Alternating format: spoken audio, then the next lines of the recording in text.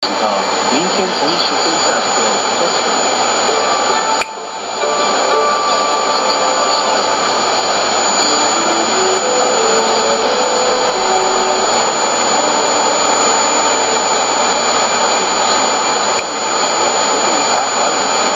听众朋友们好，首先向这位外群体西藏人民和广大华人社会的问好。今天是当月两千一百四十一年七月二十九号，公元二零一四年九月二十三号，星期二。在今天的节目里，请听以下新闻提要。达赖喇嘛表示，苏格兰选择留在英国必有长远。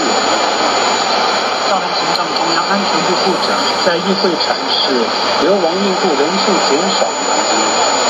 援藏团体呼吁联合国关注政治后中共政治因素对英国对苏格兰政策死